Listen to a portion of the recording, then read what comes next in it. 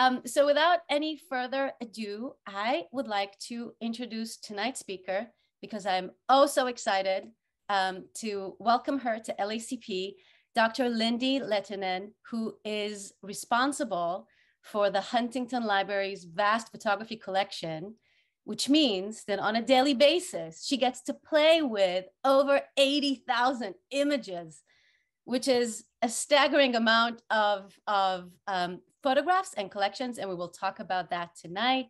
Um, she received her BA in art history from the University of Chicago and her PhD from uh, the University of Wisconsin Madison. Um, she has also worked for several museums, um, including the Getty and the Skirball Cultural Center right here in LA, and the San Francisco Museum of Modern Art, where she co-curated the exhibition, The Train RFK's Last Journey. Her research focuses um, on Asian and Asian American photography, especially from the Philippines and its diaspora. And I, um, I think we're going to get to hear a little bit about that tonight as well.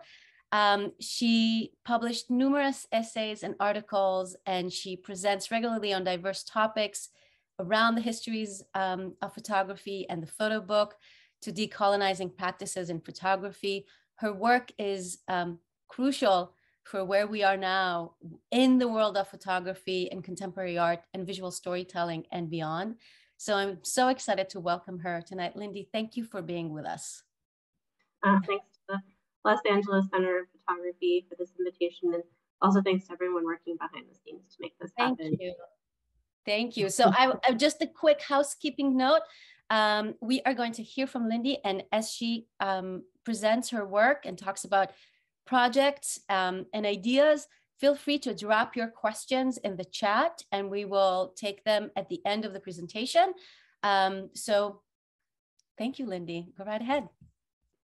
So I thought, it, again, I really appreciate the invitation to, to talk with you all. I've actually been at the Huntington only since last September, so I'm still learning quite a bit about uh, how things go there, and it's been a whirlwind, a wonderful whirlwind.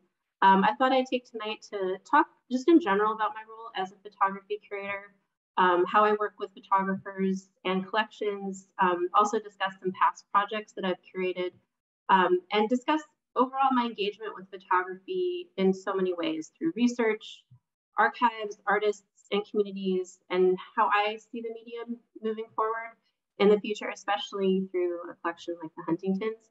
Um, and just a very small correction, um, there's actually um, 1 million photographs in the collection that I have to play with. So it says 800,000 on the website, but it's definitely over that. So um, I have my work cut out for me and, I, I'm here for it. Um, but first, before the Huntington, um, before I get into the hunting stuff, I wanted to give you just a little bit of my background and experiences before that. I received a lot of my training in photography and archives when I worked at the the Getty, both the museum and the Getty Research Institute. Um, I worked there for about between those two places for about five years. And when I was at the Research Institute, I worked in collection development, but I also was able to conduct dissertation research on the photographer uh, Paul Outerbridge, an American photographer who worked between the 1920s and 50s, primarily um, on that line between both fine art and commercial photography. And you can see here, um, you know, I've always been interested in the circulation of photography, especially on the printed page. And these are just some examples of his archive at the Getty Research Institute that I worked with. And you can see that I found a lot of his um, preparatory drawings um, for photographs that he later took and then published in magazines like Vanity Fair um, or House Beautiful magazine later on in the, in the late 30s. He was a big um, proponent and a big um, practitioner of the tricolor Carbro uh, process, which is a very um, rigorous color process that was used very often in advertising for its deeply saturated colors and the way that it translated on the page. And so I became really fascinated with that and um, able, was able to write my dissertation on him. Um, after the after my time at the Getty, I worked at the Skirball Cultural Center as assistant curator, and one of the really honestly transformative projects I was had the privilege to work on there was a managing curator for an exhibition about Manzanar, the Japanese American incarceration camp, um, as photographed in this case um, by Ansel Adams. Um, that was the, the main part of the exhibition. this is actually me visiting the Manzanar National Historic Site back in 2015 because I felt like I couldn't actually work on the show unless I was there and actually understood what the conditions were like, what the wind felt like, what the dust felt like, um, what it was to feel the harsh environment, um, and even just a sliver, a, a, glimpse of what it was to actually be part of that and be um, put under that um, was really um, overwhelming and also important as I tried to um, really make the show for the Skirball. I wanted to give voice to a lot of the portraits that were taken by Ansel Adams. Um, these are just some examples that were in the show because I really wanted to understand, you know, beyond just Ansel Adams going to this camp and taking photographs of the people, um, what, what else was going on here? I, I, consulted archives at UCLA and the Bancroft Li Library, as well as found several oral histories, just to give more dimension and, and narrative to the photograph. Um, and as you can see, I actually, in the exhibition, we um, featured pamphlets and other ephemera from the camp, as well as um, monitors where you had oral histories playing next to the corresponding photograph. So you see the little girl there in the back, that's the little girl's all grown up in the, um, in the oral history that we have on the video. And so it really was about activating these photographs in a new way and, and through you know, a lot more historical dimensions. I also expanded the exhibition somewhat to incorporate works by other photographers, such as Toyo Miyatake, who was himself incarcerated in the camp. And um, I'm not sure how many people are aware of this, but he had secretly built a camera to take with him and to take photographs, um, even though it was forbidden to do so. Eventually, though, that restriction was lifted, and then Miyatake was uh, designated official camp photographer, where he was able to freely take photos of Manzanar life in everyday life um, but also more pointed pictures like the one on the right. I also was able to include Dorothea Lange's work in this exhibition, whose photographs at the time were actually marked with the word impounded. If you look closely at these, you can see the scrawling on the bottom um, where someone wrote that basically censoring them um, because they were too revealing about the conditions of the camp. And so for me, this is where I'm coming from is that my perspective is very much thinking about the photograph as an object um, and all of the context that comes with it, including writing.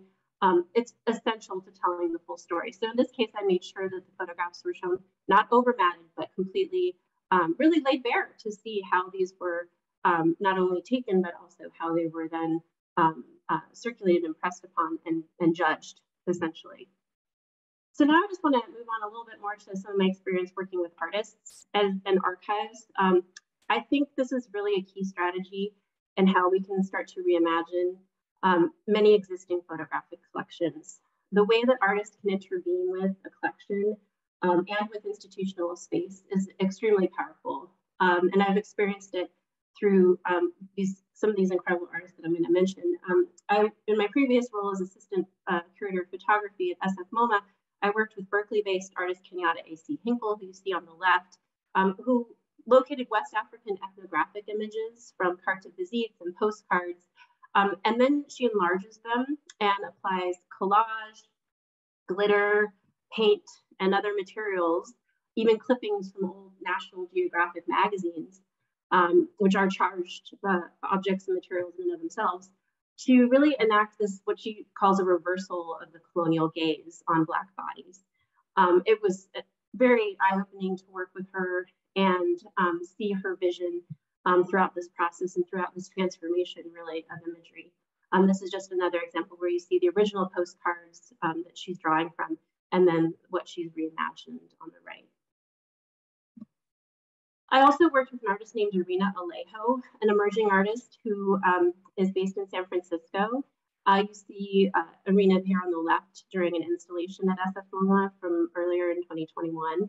Um, Irina explores labor, displacement, and family, as well as communal history in their work. Um, Irina is a third generation renter who grew up in different parts of San Francisco, um, in the Mission, in the Excelsior districts, and witnessed a lot of the changes as a result of gentrification.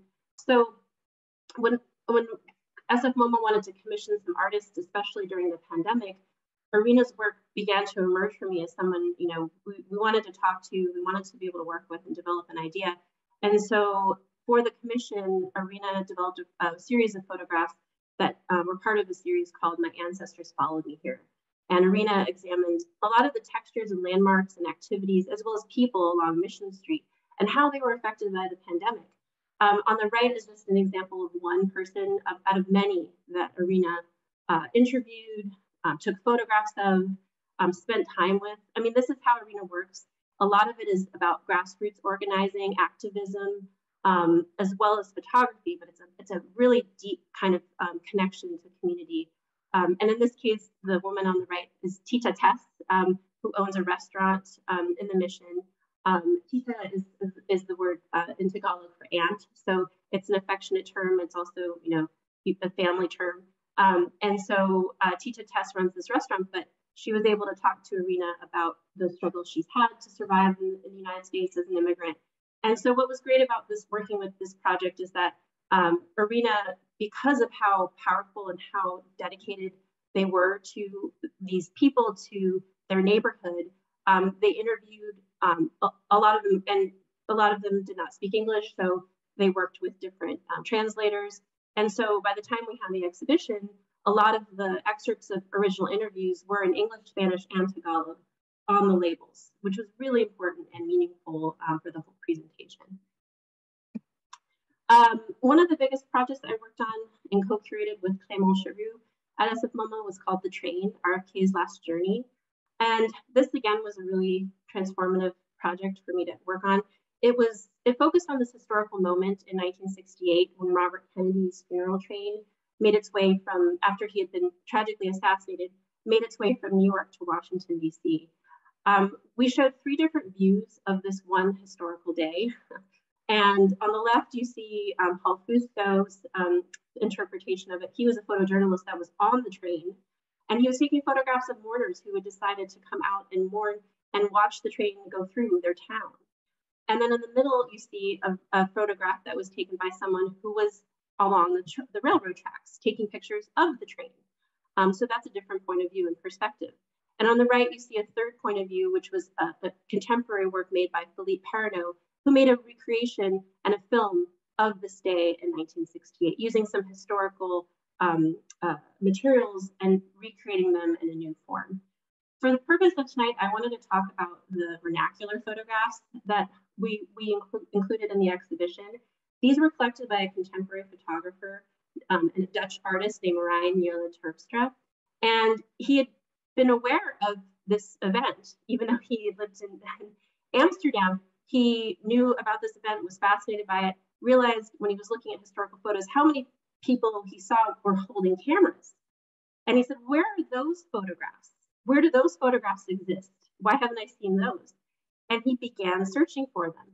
Well, where do you search for photographs like this? Here's one example um, from Island, New Jersey. Another example from Tullytown, Pennsylvania. These are um, these are slides, and then you can even see some of the person wrote waiting, waiting and watching for the train. Here it comes. So these wonderful uh, captions. Where did he find them? Facebook.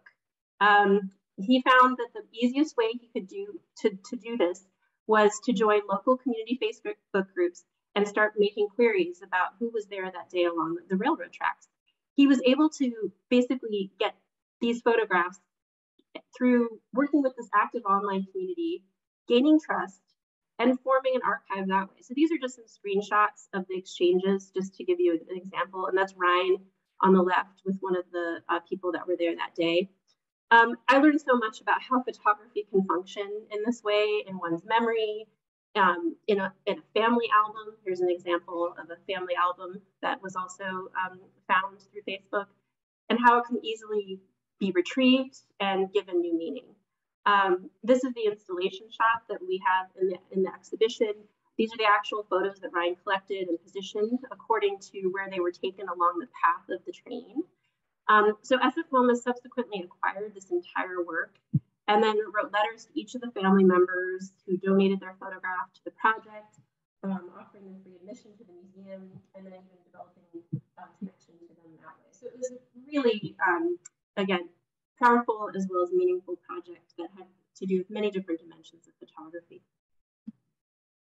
So the past projects and exhibitions that I've worked on have really prepared me for my current role as curator of photography at the Huntington Library, which is what I'm going to talk about, which is the main part of what we're going to talk about for the rest of this presentation. The Huntington is a, a, in a really unique position. Um, it's a collection-based research and educational institution. Um, and I often describe it as a hybrid place. It's a library, it's a museum, it's a botanical garden. Um, there's nothing really like it anywhere else. And photography intersects with each of these components in significant ways. I am so lucky to be the photography curator at this place. Um, for those who aren't familiar with how the Huntington began, um, Henry Huntington and his uncle Collis Huntington were leaders in building the railroads um, that span the country. And in 1902, um, two years after the death of Collis, um, Henry transferred his headquarters to Los Angeles um, from the East Coast and bought the San Marino Ranch, which is now the Huntington. He married Arabella Huntington, who happened to be the widow of Collis um, in 1913, a little bit of a scandal, but that's okay. Um, together, they amassed an extensive library, art, and botanical um, collection that, as you can see it, as you will see, continues to evolve. Um, so I thought I'd start with this image um, that I found in the Huntington's collection when I was first um, exploring what, what was here. It features a group of women standing in front of what is captioned as Pasadena's first photograph gallery. I looked it up and it was called the Ferndale Gallery, opened by George Weingarth in 1882. Uh, the women are some of his family members, it turns out. And they're posed in front, in front of this striking structure. The windows are open, pictures are hang, hung outside for display. Um, you see tree saplings planted in this barren ground around the building. And just for me, it signifies a convergence of many things um, that are of interest to me. It's it's the beginning of something new, um, a new medium, a new space and a territory. Um, it's about the display of photography. It centers women. Um, it's embedded within the California landscape. I just I felt connected to this photograph immediately, and it seemed a, a good um, starting point for this talk as well. And incidentally, it comes from the C.C. Pierce collection, which was the first um, set of, uh, which was the first major collection of photographs to enter the Huntington collection. So that's also, um, again, quite fitting. So since I started at the Huntington in September last year, I've been delving into this exceptional group of, of photographs. Again, like I said, it's, it's about a million photographs. And I wanted to share with you just a slice of what I've learned so far about the scope of it, um, some of the discoveries I've made, um, as well as some recent acquisitions that I wanted to share with you. Um, I want to use the collection really to tell many different histories of photography, and I'm just beginning my journey. There is just so much potential.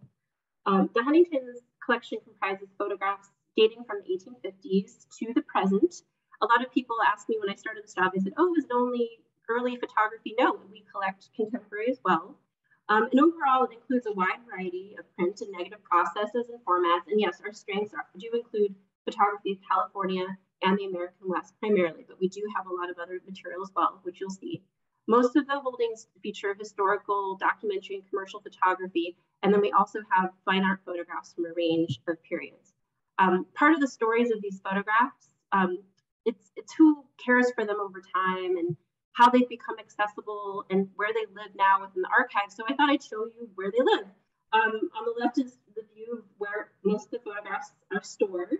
Um, and then we also have a physical card catalog, which is something of a relic. It hasn't been added to since the mid 90s, but um, we do consult it still to find certain things uh, deep, deep down in the archives, um, as well as search uh, within the online library catalog. But I just wanted to see some of the um, some of the ways that we actually store our photographs.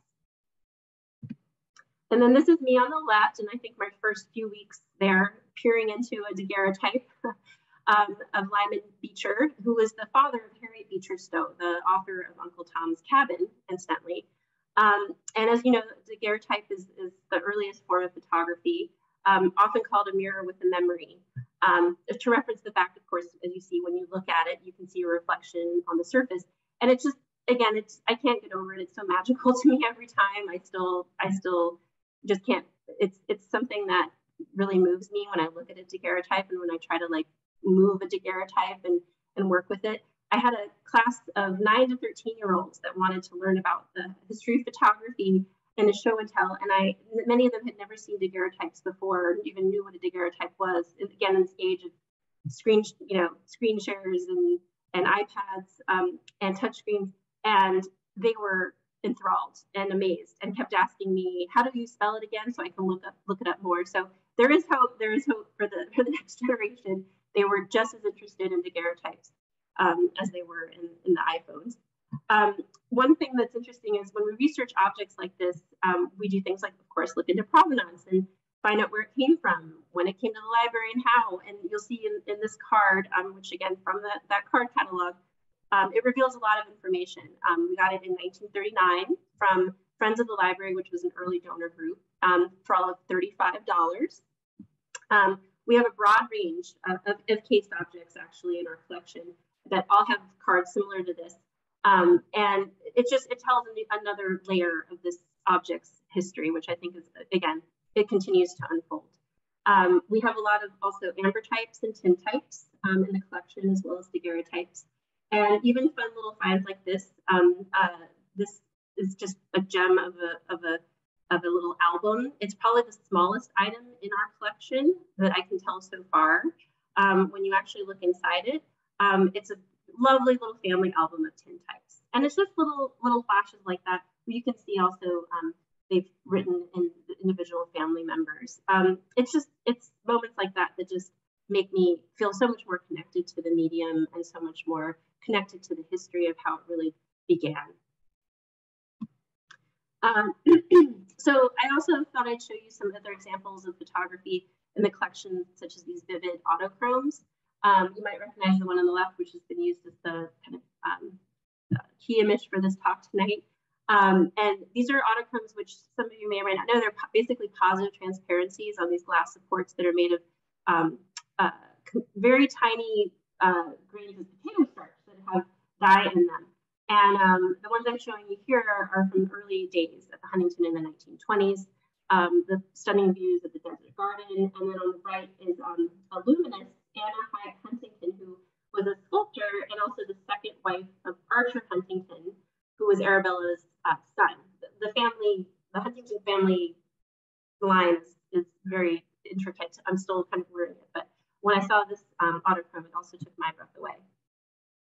Um, other histories of photography, other forms of photography um, that speak to early parts of an early moments of California are things like these stereographs. I have a vast stereograph collection. Um, and here's one of a bucolic Pasadena on the left by Carleton Watkins.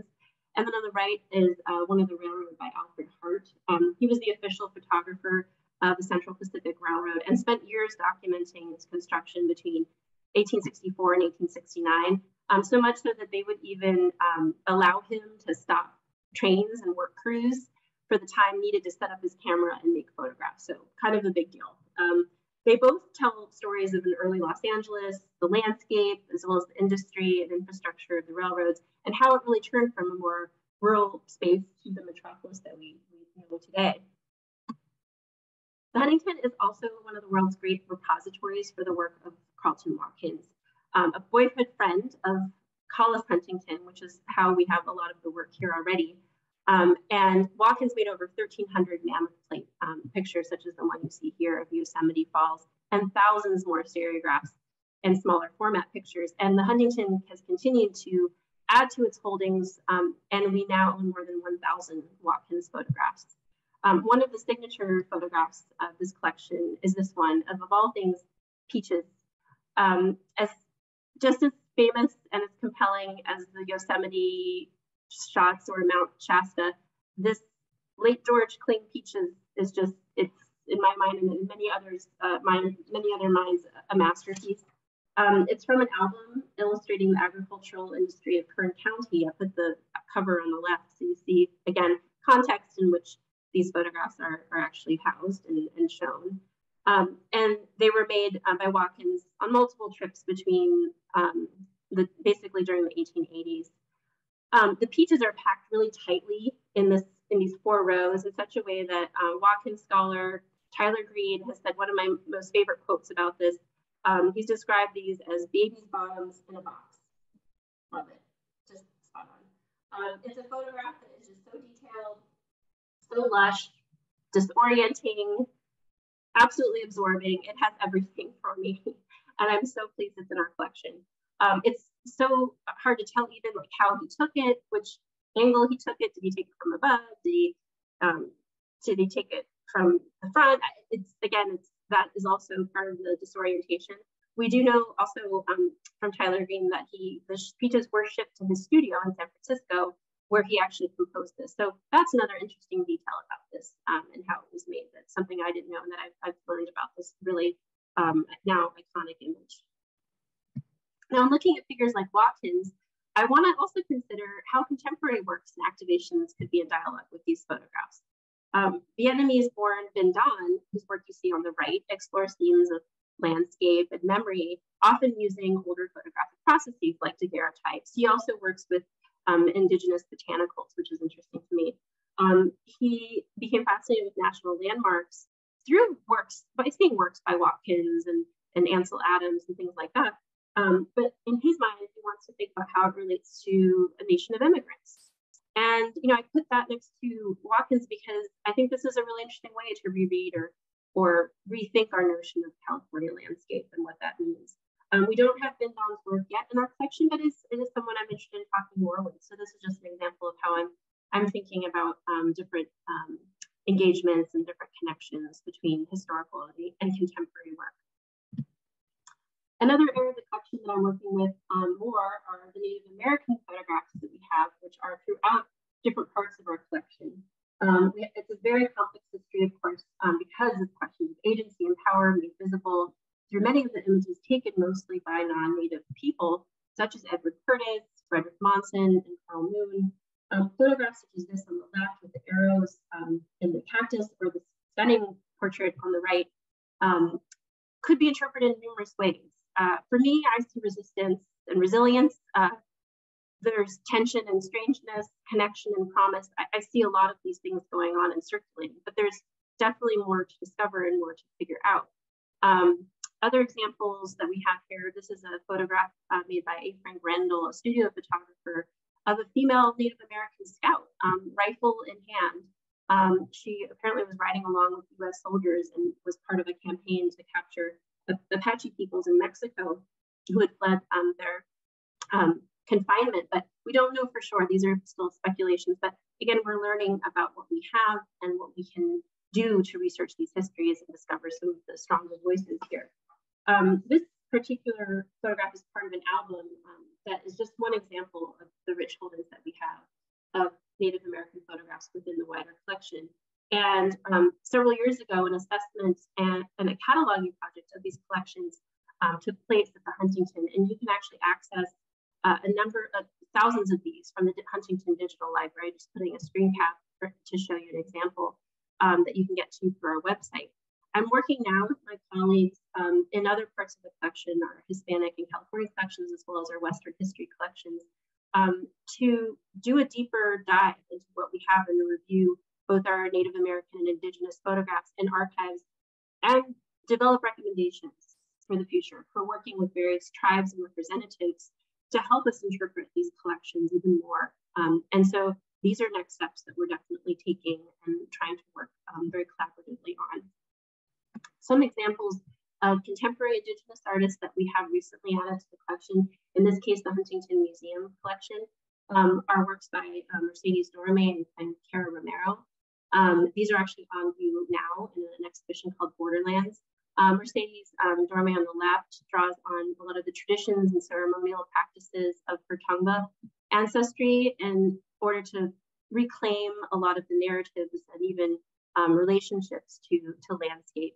And on the right, um, Cara Romero um, is, is uh, a citizen of the um, Chemehuevi Indian tribe in Mojave Desert um, and this is titled Hermosa because um, she took her daughter um, on a shoot. There are other series um, of photographs that include her daughter to the shore of Hermosa Beach in Los Angeles as a way to represent um, the creation stories of, of her tribe and the songs and myths related to it. So my next steps, for example, would be to have artists such as this come to the photography collection in the library and start to generate dialogues um, that way with our historical materials and have them look through what we have and just begin to, to sift through and, and, and make sense of it together. Um, so an ongoing process. And again, I'm incredibly um, devoted to that. So shifting gears a little bit, just speaking of historical materials, another part of our collection um, that I, again, I realized we had a lot of strength is, is material on the American Civil War. Um, we have a lot of material by George Barnard, Andrew Russell, Mathew Brady, um, Timothy O'Sullivan, and Alexander Gardner. Um, this is a rather grisly photograph um, taken at the Battle of Gettysburg, um, also known as the Harvest of Death. That's a very iconic, uh, well-known Civil War landscape um, of the aftermath of battle taken by Timothy O'Sullivan and then printed by Gardner. But what's interesting, what I love about the Huntington's collection, how it just keeps giving. Um, as I was looking through the rest of the collection and, and trying to find um, connections between this and other things, I realized that we also have a stereograph of the same scene. But then when I actually looked a little bit closer, the images are actually two views of the same scene, but taken from opposite sides of the battlefield.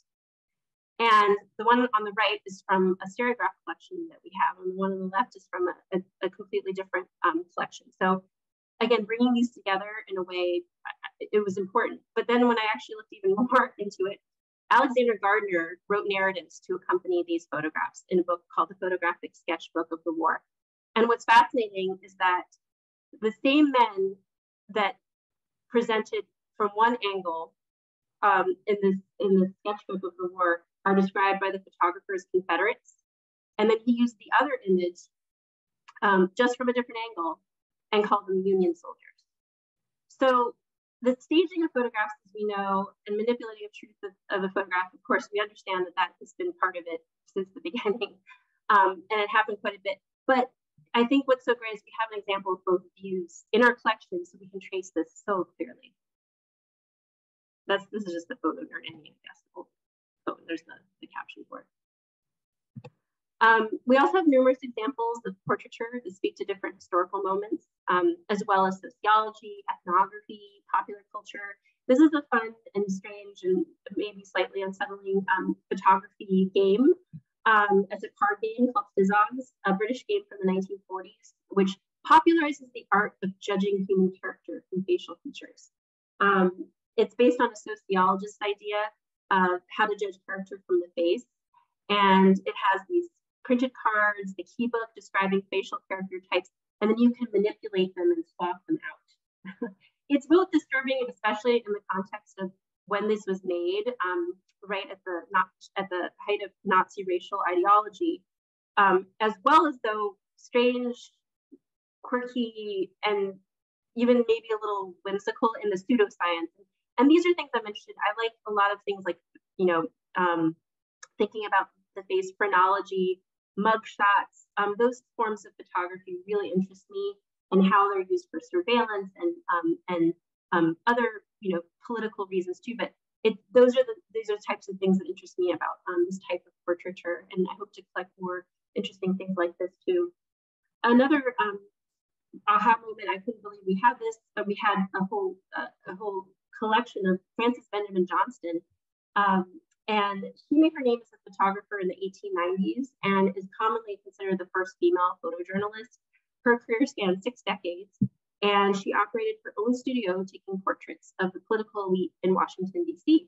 Um, this is of Susan B. Anthony, for example. Um, the Huntington has over 1,200 of her prints and corresponding glass plate negatives, um, which were purchased by Henry Huntington from her in 1924. Um, so I'm still making my way through that collection, but it's it's remarkable. Um, and uh, Frances Benjamin Johnston, one of my favorite things she said, she published an article in the Ladies Home Journal um, in 1897, urging women to consider photography as a means of supporting themselves. I'm living it, so I really, I really appreciate her words. Um, and it's a very powerful statement for the time. Um, her portraits of women's rights activists, um, like like Susan B. Anthony, um, capture the spirit of coming together, different groups working toward women's suffrage. Um, and as you can see, this is a cyanotype print, which really was used by many photographers at this time as a work print. You know, it was a way to, as a ready reference, um, to check exposure and decide on cropping for the final print. But in this case, I just love how the blue gives it this ghostly, um, otherworldly quality somehow makes it more compelling. So I still have a lot to discover of her work. Um, I've also been doing a lot of research on materials related to the history of the Philippines um, and the Filipino-American experience um, in our collection. This, um, as, as Rita mentioned in the introduction, is a very strong interest of mine, um, but based in part, yes, on my, on my, my own heritage, my own Filipino heritage, um, but also this is an area of research and scholarship that really hasn't been um, worked through enough when it comes to the history of the Philippines and history of photography and where those two things intersect. We already have an amazing um, foundation of historical material for our Pacific Rim collections, and I want to continue building off of that through photography. Um, some of the portraits that I've already found um, are albums such as this one from the 1940s, um, taken after World War II, which to me, you know, 85 years of Filipino life. I mean, I just, it speaks to, of such pride and strength. Um, but there are, of course, other parts of our collection um, that are much darker and tell very complex histories of colonialism, both under Spanish and American rule. Um, I've been looking for more work um, to add to the collection in this area, and I did find an incredible um, collection of, real photo postcards that I just acquired for the uh, collection. It hasn't even been processed yet, so you're looking at kind of loose shots here. Um, but there are almost 800 of these um, that we were able to get. And this is just a sampling that it spans the years of transition from the end of the Spanish colonial government through the decades of American administration.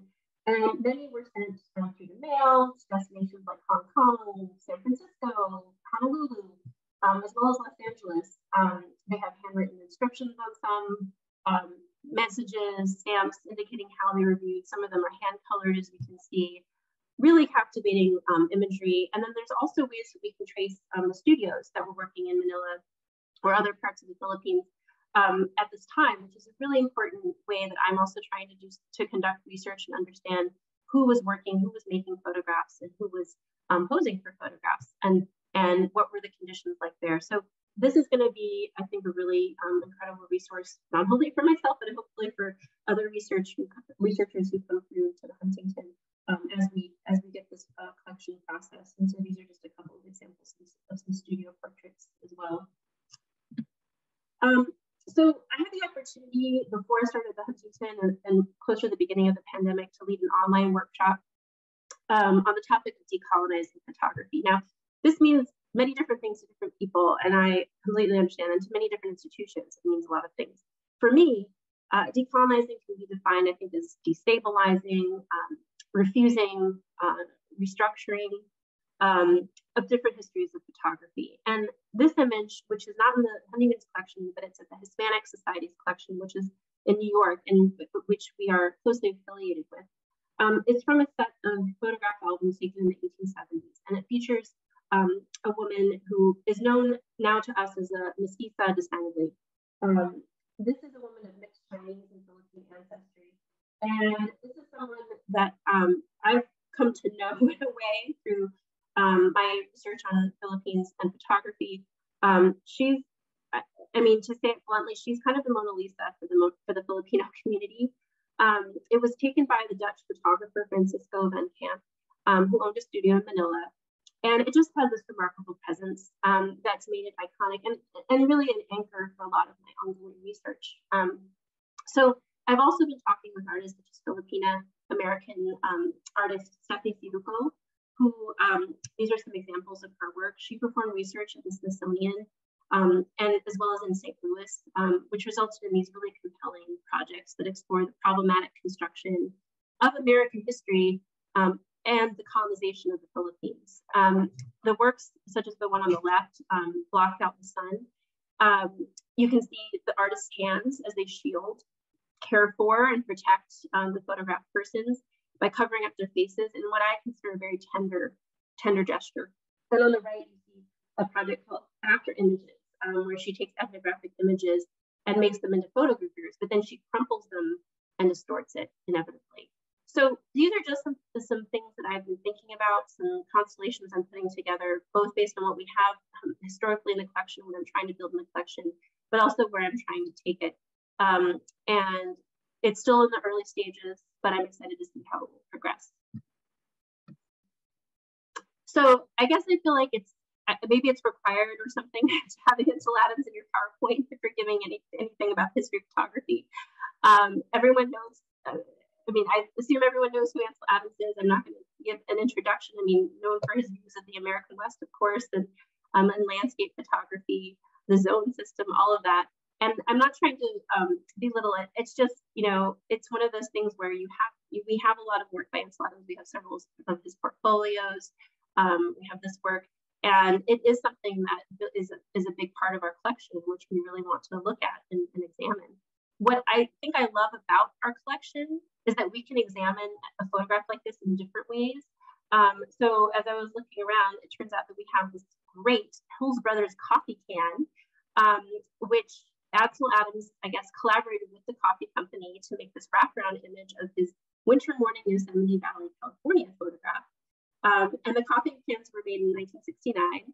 Um, and I think what's so fun is that we have this, first of all, and then um, it's uh, another side note that I learned is that um, not everybody within Ansel Adams circle appreciated that he did this. Imogen Cunningham apparently um, expressed her judgment of this by sending Adams um, one of these cans, but emptied of the coffee and filled with soil with a live marijuana plant in it.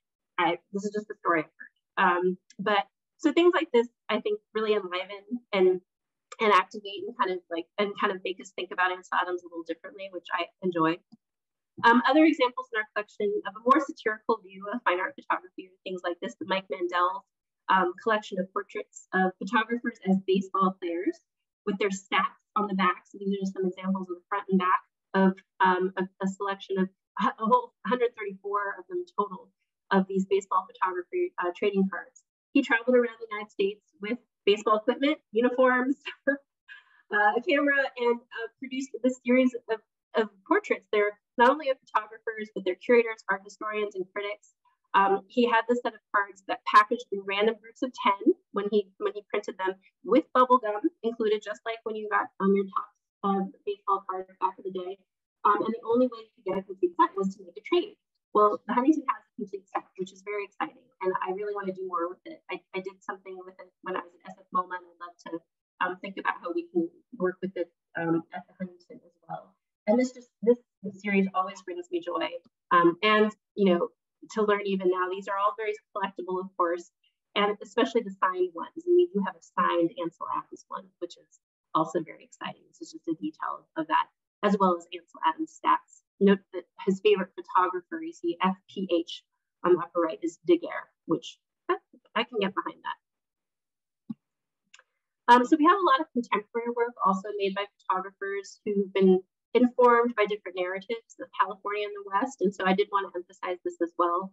Um, this is just one example, American photographer um, John Humble, um, who moved to Los Angeles in 1974 and photographed the urban landscape um, from San Fernando Valley and East LA to Venice and Long Beach. Um, here's Boyle Heights, for example, and you just see how he captures and somehow finds these wonderful incongruities and ironies of Los Angeles, this 87 cent, more or less store, which I'd never seen anything like that. Um, and this flurry of signage on the street, the woman um, walking just right at the, at the right moment um, across the, across those um, display windows. Um, so you know, it's great to have works like this as well as the work on the right, which he was able to give us a, a book dummy that he made more of more street scenes and the houses and buildings in Los Angeles, um, which are just a whole other document of Los Angeles, and we're, we're really happy to have that as well. Um, here's a photographic series by LA-based um, uh, LA-based artist Katie Shapiro um, that looks at a really interesting um, question of public and private space. Um, this is uh, the Broad Beach in Malibu, California, um, and it's an exclusive area where these homeowners have erected these sandbags in front of their properties, claiming that they're putting them up, you know, to prevent erosion. But it's really a way to keep the public out and to just eat up more beachfront property. Um, so, and even the one on the right looks like this big whale taking over the beach. Um, I just think things like this are so important to be able to collect as this draws out tensions um, between both public and private space in, in California. So um, another aspect of my job is definitely studio visits. Um, this is a really big part of my my time and my um, commitment to, to, to the advancement of photography and to thinking about photography. Um, it's so important to spend time in these spaces, um, to see work in progress, no matter how messy, um, to think about how works are being hung together in the space um, that the artist is, is inhabiting and spending so much time in. I've learned so much just from sitting and, with artists um, to talk about their projects and materials and visions. it's, and this is just a sampling of some of the visits I've made um, with Mercedes Dorame, Mark Ruwedel, Kate Shapiro, whose work I just showed you. Um, I've also um, visited with Connie Samaras, um, David Horvitz, there's an, an, experimental garden that he has put together, um, and Gusmano um, Cesaretti, who actually worked at the Huntington many years ago as one of the one of the staff photographers. Um, I also visited Phil Chang. We had a lovely visit, which was marked by the fading of this unfixed photograph on the left um, by the end of our visit on the right, um, it had gone to black brown, which was just really, an intentional um, gesture and an intentional work. Um, and it was just very, very poetic in, many ways um, to mark our time together. Um, I've also had people come to Huntington to show me portfolios of work. Uh, Daniel um, came and Elin O'Hara Slavick came to show me some recent work. and then I traveled, I went to San Diego and happened to see Andrea Chung, Chung's work there um, and these, these wonderful cyanotypes that she's been making. Again, thinking about um, other processes and earlier processes that have been used and how contemporary artists are, reusing them. So I'm closing a little bit with um, two acquisitions that I recently put together and um, really I feel very close to, and I thought that they um, can kind of help you also understand how I'm trying to think of things moving forward. Um, I thought I'd highlight these two because I, they convey a lot about the vision I have for the collection and a trans-historical approach um, for collecting and interpreting photography. Um, these are two important yet often under-recognized female photographers from different eras and geographies who are each in dialogue with the Huntington's collection in perfect ways. Um, Anna Atkins on the left and Laura Aguilar on the right. Atkins corresponds directly with our botanical and British collections. Um, and Laura Aguilar next to our extensive holdings of photography related to the California landscape, as well as our Hispanic and California um, materials and manuscripts. Um, 19th century uh, photographer and botanist, uh, I'm sure you know Anna Atkins, um, she actually learned cyanotype printing from Sir John Herschel, and she made her first book of botanical specimens um, in um, 1843, which is considered to be the first, really the first photographically um, illustrated book um, of cyanotypes. And, you know, again, she's, when I looked through the collection, I didn't see that we already had one. I was a little surprised. So I started looking and I was so pleased when we were able to find the single cyanotype, um, which was originally part of an album that which had subsequently been um, taken out, uh, you know, decades before. Um, and this was dedicated to her childhood friend, Anne Dixon. Um, and it really demonstrates a little looser kind of visual freedom um, and experimentation. I think part of it has to do with the shape of the plant. It's an arrowhead uh, plant, um, which has leaves that resemble these arrow points. And it actually grows in, um, it's an aquatic plant that grows in, in lakes or ponds or streams. And I know this because I was able to talk to my colleagues in the botanical department I went to our herbarium. We have an herbarium, and I looked at, at specimens and did comparisons and, and asked them if they could help me with the research. So I have that resource at this unique place, and it's really it's really remarkable when you think about it. Um, we talked about even trying to grow this plant at the Huntington, but we realized it's actually when when more research was done, again by my wonderful colleagues, they realized it's too invasive and it might take over and it, it's not going to be feasible. But we we looked into it, and so things like that that we're able to work together on something like this is I, I think again um, a really meaningful experience. Um, the other thing that I did when I was researching some of the Atkins work is that you know as we know all photographs are light sensitive to some degree, especially cyanotypes. But um, more recent research has shown that if a, cyan, that a cyanotype, if it loses some density as a result of exposure to light, um, that when put back in the dark, it actually can regain a lot of it back. Um, within a short amount of time, interestingly enough. Now, some experiments are still being done and there's still some debates out there, but I just love the idea that this Atkins print is like this living thing. um, that can kind of regenerate. I, I, just I think that that excites me greatly. Um, so I'm so glad that we've been able to, to bring this into the, the Huntington's collection. And for the Aguilar work, um, I have been in touch with Laura Aguilar's estate when I was in my previous post at SFMOMA. And when I moved over to the Huntington, we kind of kept up the conversation and thought, this is a, a, a place also um, for, for Laura Aguilar's um, photography to find a home. And the estate's been working with several museums and institutions around the country to really advance her legacy. And so we really wanted to be able to work with um, such a, a, a strong um, team and a strong um, vision for where Laura's work um, could go. Um, her approach for photography explores a variety of themes, um, from lesbian and Chicana identity to interventions with the Western landscape, um, to the politics of marginalized groups, especially in Los Angeles. Um, and a lot of her works primarily made between the 1980s and 2008. portraits of herself, as you can see here, her nude body on the on the bottom there, um, and including her friends, family, as well as LGBTQ and Latinx communities. Um, she was born in the San Gabriel Valley, um, a resident of Rosemead. These are all things that make sense also for why her work belongs at the Huntington. Um, and it was also a way to collaborate with my colleagues in the museum. Um, and we were able to come up with a selection of work that we could have both at the museum and the library.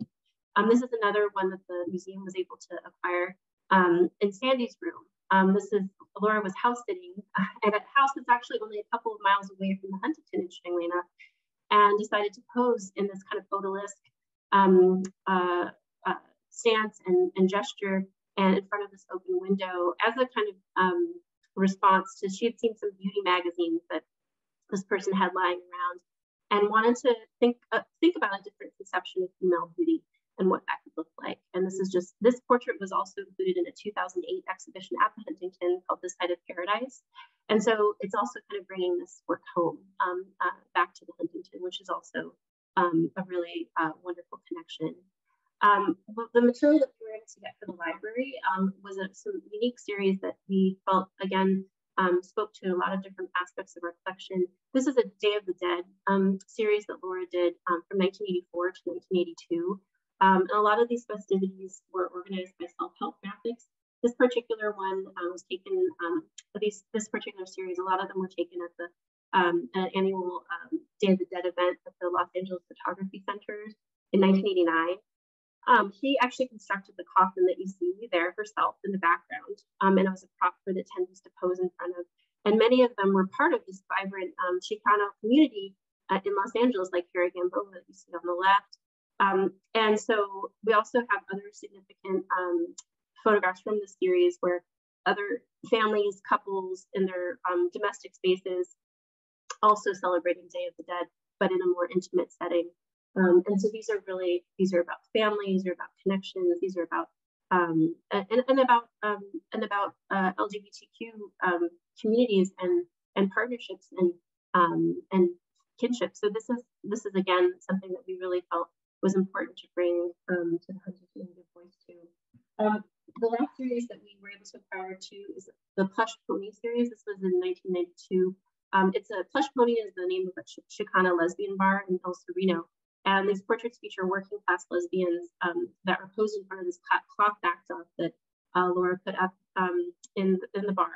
And it's just, it's a really, we have a series of six of these, but um, th this is a really beautiful portraits as well as group portraits and individual portraits that convey this sense of community pride um, and camaraderie. Um, and what's interesting enough is that when we when we um, announced the acquisition on social media, we used this image, and we were already getting the messages like, "That's my aunt on the left. I'm so proud of her."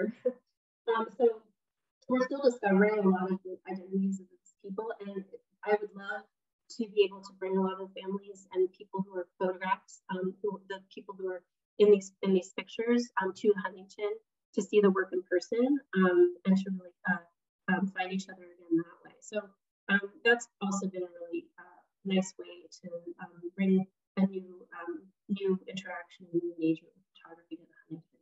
So to close, again, it's been really rewarding to embark on this journey and discover a lot of new things, but also grow the collection, hopefully in some dynamic ways in the years to come. So Thanks.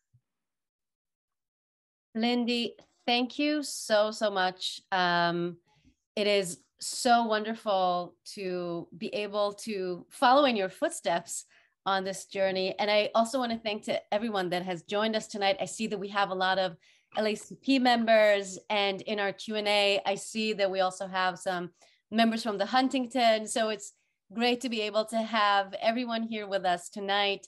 Um, and we also have a lot of questions. So, you know, I just want to, I'm thinking about all these photographic objects, how, you know, you presented that so beautifully, how they are written into the history of photography, both in words and in images. It was really, really clear from everything that you've shown us, anything from those incredible baseball cards. I mean, that image of Ansel Adams is definitely going to um, go with me tonight. Um, um, and all the way into how photography is embedded into our daily environment.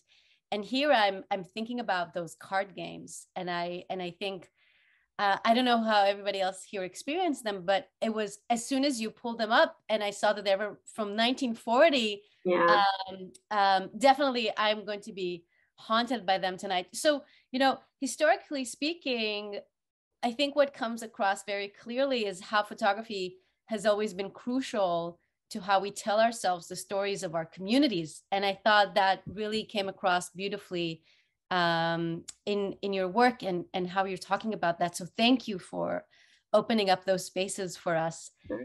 Um, and there's there's there's you know you've mentioned how you talked beautifully about how you're working with the collection now and how you're reimagining it a little bit and diving into its materials. And there's and there's something that i want to name in that context and get your take on um, which is you know as curators that are working with collections and are working with archives and are researching archives sometimes there's a deep need to reconcile or to bring in some of the histories that maybe were not previously told into a the collection and b also to the gallery space where those histories meet the audience. And you you you were talking about researching the histories and making these histories available and collaborating with various communities and bringing new stories um, into the collection. And of course we see a lot of thankfully contemporary museums that are now renegotiating their collections um, and bringing in stories that were marginalized in the past. I mean, the stories of Laura Aguilar and um, um, what she was creating in the local landscape were not given enough exposure in the past. So I, I'm wondering if you can talk a little bit about that, about the, and I see that there were also questions about that in the chat. Like, you know, you talked about how to bring that into the collection and how to work on the research maybe you can talk a little bit about how do you bring that to the audience? How do you bring those new narratives into the public space? Oh yeah that's a it's a great question and thanks so much for um, uh, pointing out so many different parts of what i'm, I'm trying to grapple with.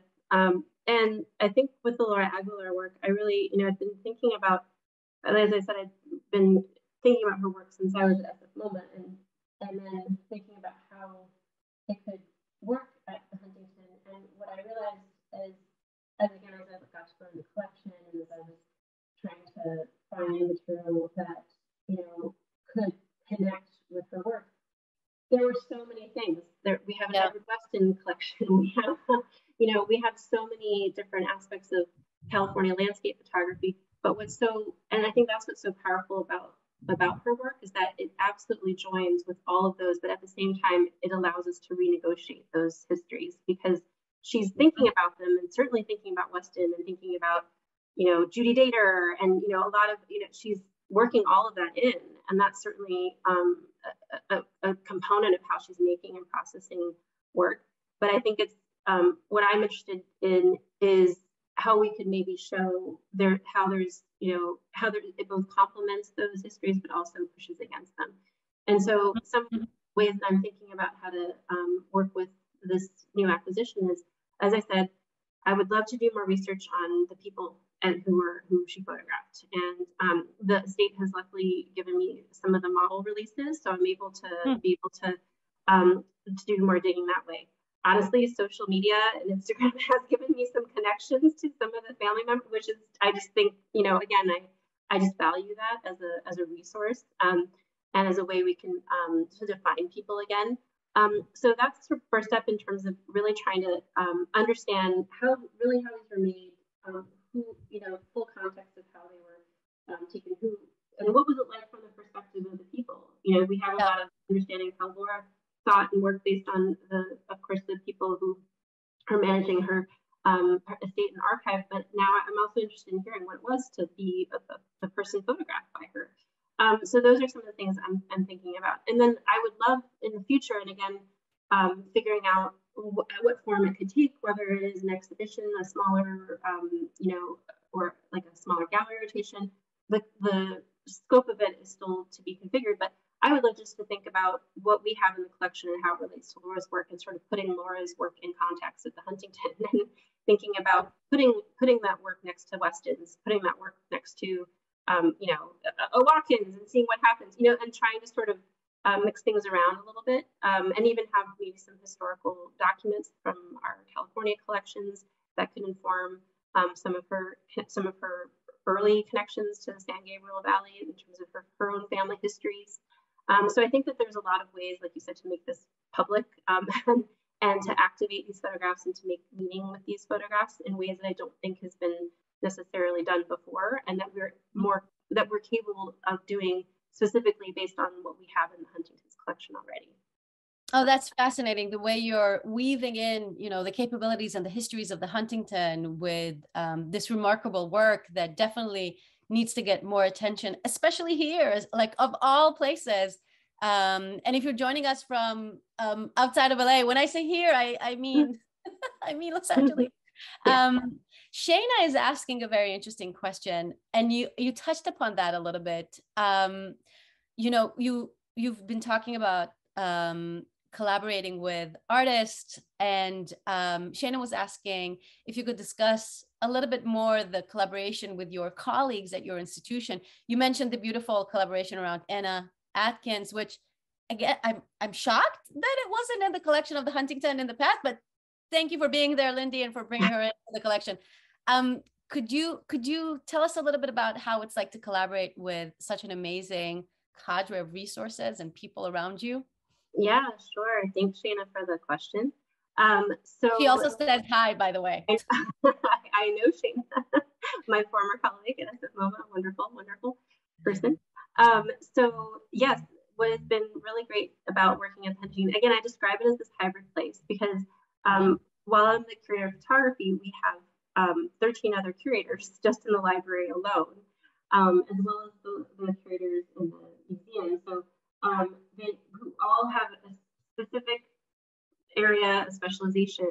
And it can be history of science, history of medicine, literary collections, um, you know, art, like as I mentioned before, California and Hispanic collections, um, Western history. So all of these, um, you know, rare books, you know, all of these different areas uh, that, that Huntington originally collected has now kind of grown, and our, our Pacific Rim collections, for example, so I've been, what has been so great about coming to the Huntington is I learn from my colleagues and how they're seeing, um, how, how they're seeing and interpreting history. Because I'm so used to, um, I just, I can't help it. I, I learn through images. I just, it's just, I'm an art historian.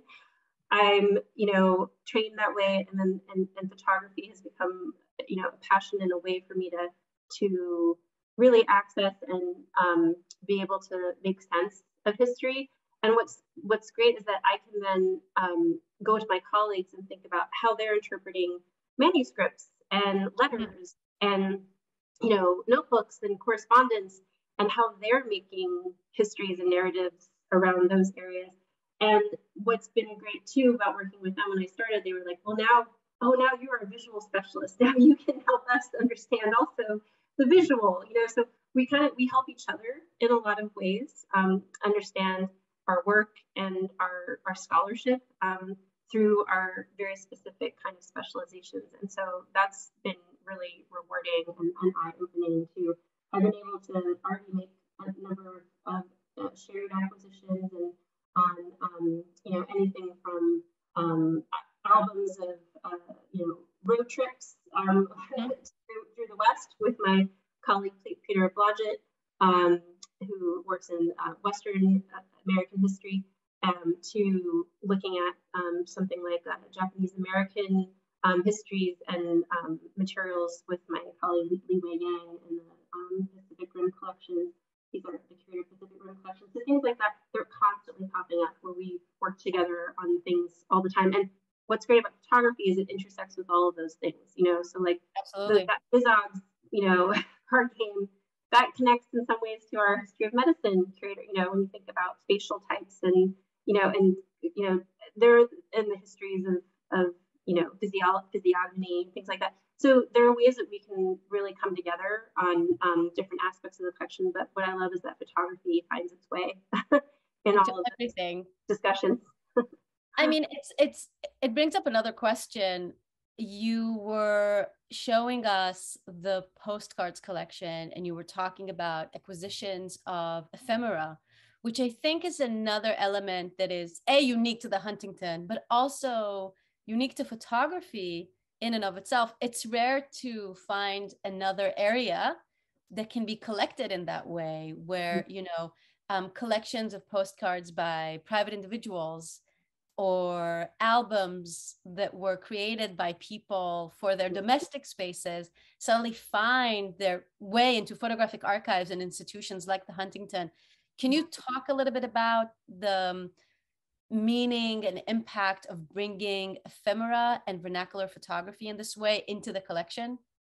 Yeah, that's, you know, that's part, part of why I, when I was talking about the train exhibition, why I wanted to focus on the vernacular part of that, because um, you know, that was a, a I think a, a, a, good step for SF MoMA to collect vernacular photography. And SF MoMA, yeah. which is, you know, a, a modern art museum, um, to bring in vernacular photographs. In, in, in, that sense, they were collected by an artist, and that's maybe, and he made an installation. So there is a sort of an extra yeah. step there.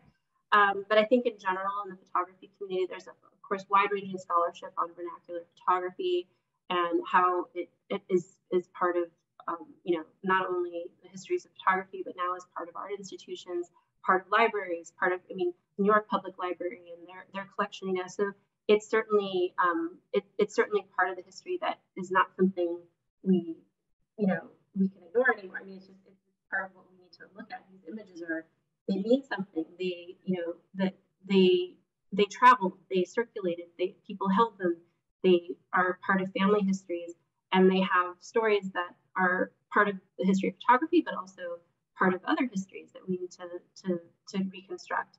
And so um, I think what is interesting, we do have at the Huntington a lot of things like family albums, um, mm-hmm. people that um, put together um, different, you know, uh, arrangements of things, and to even thinking about how how sequences of photographs were put together, vernacular photographs were put together by an individual is interesting to me and tells a new kind of dimension um, to how that photograph, uh, what that photograph meant at that time.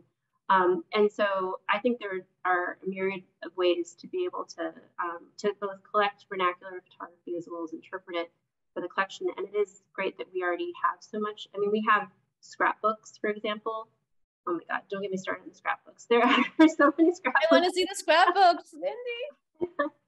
I mean, remarkable in terms of just how how they're constructed, what they tell about different um, aspects of visual culture, um, and not to mention, you know, specifically California culture. Um, but I feel like it's this is a whole area of scholarship that is has been has been going going, but I feel like there's even more strength um, added to it because because because institutions like us can collect it and yeah. researchers can use it for various purposes. So. Absolutely, and it sounds like you're also bringing that um, strategic way of thinking into projects like Laura Aguilar. Like the way you were just talking about that also resonates with how you were discussing, you know, how would you present that to the world? And I think it's wonderful to be able to have that context, that fuller um, historical context and the visual culture context within the gallery setting. So I, I, I really appreciate how you bringing those themes into the gallery setting. Yeah, um, in that context, Mary's also asking if you're um, if there's a collection strategy in place around acquisition of archives, and if the Huntington ever considers um, collecting archives of photography, commercial photography studios as well? Yeah, that's a great question. We do have um, certain archives, um, specifically commercial photographers from earlier um, uh, in the 20th century or mid mid 20th century, like Maynard Parker, um, Dick Whittington. Those are some uh, two big collections that we have of um, commercial photographers' archives. Um, we're still discussing our basically our capabilities as well as um, uh, mission fit in terms of collecting contemporary photographers or even later photographers, like mm-hmm. um, later 20th century photographers' archives, whether that's suited for us at the Huntington or if other institutions might be more, you know, like it's CCP or perhaps even Stanford or you know places that focus very much more on um, especially artist photographers archives. Um, so that's still up for discussion for sure. And I think a lot of it depends for me on um, it depends on how, like I said, with for example Laura Aguilar's work, um, it depends on on how it talks to the rest of the collection too. It's not like we have a blanket statement of oh we don't take um, artist archives or we don't take photographers archives. That's not true. I think it really depends on what it is and how it um, how it connects to what we already have, or how it might expand our thinking about what we may want to do with um, thinking about uh, what we want to do with the collection moving forward. Um, I'm actually still in process of, of putting together a collection development plan um, because again I've still only been here for less than a year. Your so. time. It's okay. We're letting you have it. It's fine. um, but that is a question that I'm I'm I'm thinking about. Um, and storage is also always an issue. So you know, just in terms of in terms storage. of space and that kind of thing too. So I'm That's... taking all that into account as as these come up. But a lot of times we get we we get queries and we sort of take them one piece at a time and think about it. You know, as these come in, these questions come in. Let's let's look at the inventory. Let's look at what it is. Let's think about, oh, does this does this work with this? Can, can a researcher get something from this? Can we can this bring something to this the legacy of this person in, in a way that you know can really find strength at the Huntington? So these are just some of the questions we ask, but um, it is it's kind of a case to case to case basis.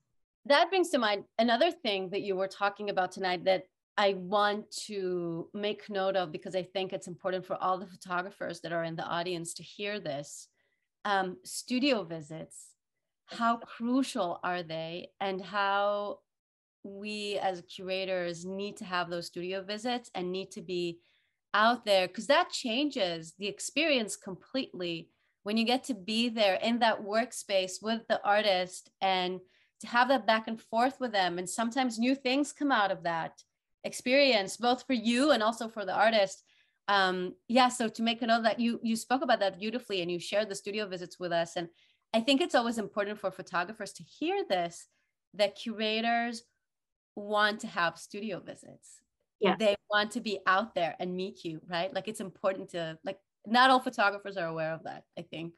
Oh yeah. No it's it's essential in my mind. I mean i've it since the beginning of when i started to to, to get into curating because um, there is just no other way you can understand a work unless you are really in the space where the work is being conceived and really um, developed. And you know, sometimes it's it really is just also being in a more relaxed space and feeling more um, feeling like you can just have a conversation with artists. It doesn't feel, you know, that you can just explore together. You can ask questions and together and and those are things that I think um, really just get me excited about you know what is being made and how how people are thinking um, and what they're experimenting with, what they're failing at, even you know. I mean, I think that's important too. Is like being able to see work that maybe isn't going to turn into anything,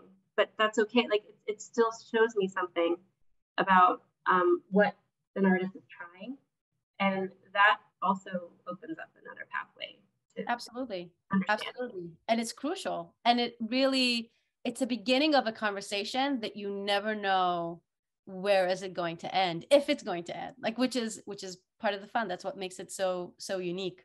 Yeah. um i have this incredible question from tabitha for you. Um if you could recommend the work of one contemporary woman identifying photographer from the philippines who would it be must be alive, Tabitha Rice. must Will you take the challenge? That's so funny. Yeah. Um, no, it's not. But I just the way it's phrased is great. Um, well, there are.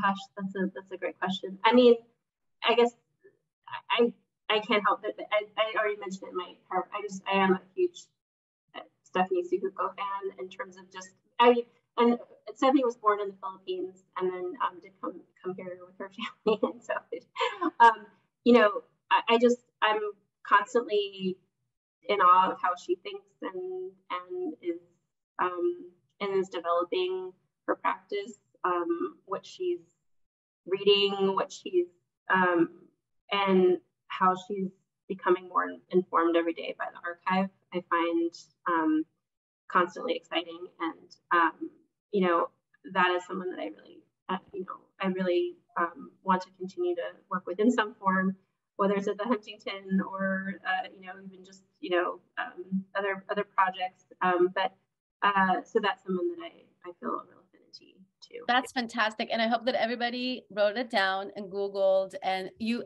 you actually brought to us tonight so many incredible names of artists.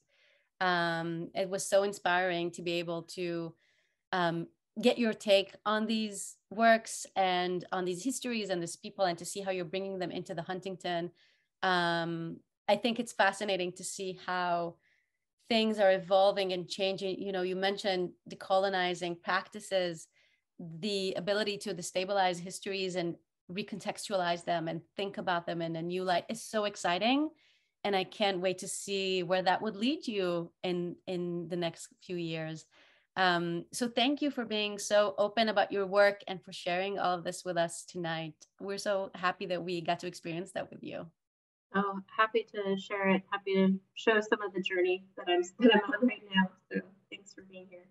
Thank you. Thank you so much. And